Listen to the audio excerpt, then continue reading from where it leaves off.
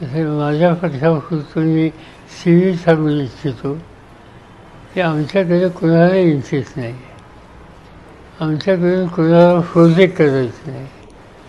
आम्हाला महाराष्ट्राच्या सत्तेत परिवर्तन हवं आहे आणि सत्तेत परिवर्तन करून एका विचारानं या राज्याच्या जनतेला उत्तम प्रशासन द्यावं ही आम्हाला लोकांची इच्छा आहे.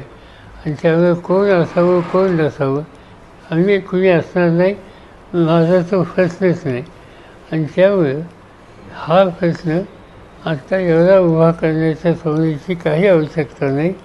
आज लोकांना पर्याय हवा आहे तो पर्याय कसा देता येईल याच्यावर लक्ष केंद्रित करूया.